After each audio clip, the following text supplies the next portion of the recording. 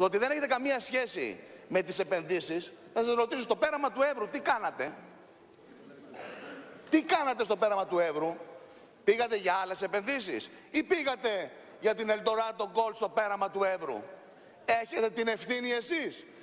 Από ό,τι λέει το περιοδικό Unfollow, αλλά και από ό,τι είπαν οι εφημερίδες και γράψανε όταν επισκεφθήκατε πάνω, είχατε την ευθύνη για την έγκριση των περιβαλλοντικών μελετών για την Eldorado Gold.